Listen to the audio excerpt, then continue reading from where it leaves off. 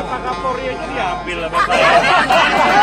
Menko Perekonomian Erlangga Hartarto dan Menteri Investasi Bahlil Lahadalia saling melempar candaan saat kumpul menantikan sidang kabinet paripurna di Ibu Kota Nusantara pada Senin 12 Agustus 2024. Erlangga menyinggung Bahlil yang mengambil kursi Kapolri.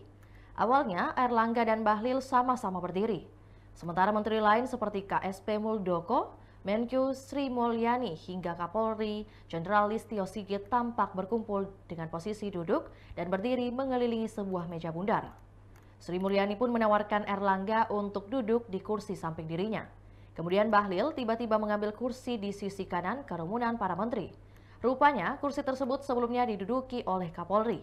Saat Bahlil akan duduk di kursi yang di bawahnya, Erlangga spontan melontarkan candaan yang menyebut kursi Kapolri saja diambil oleh Bahlil. Para menteri yang hadir di lokasi tersebut langsung tertawa lepas mendengar candaan Erlangga. Ada pula menteri yang bertepuk tangan. Pasalnya, baru-baru ini nama Erlangga dan Bahlil sedang menjadi sorotan lantaran posisi Ketua Umum Partai Golkar. Bahlil diisukan menjadi pengganti Erlangga setelah mundur dari Ketum Golkar. Kursinya Pak Kapolri aja diambil sama saya.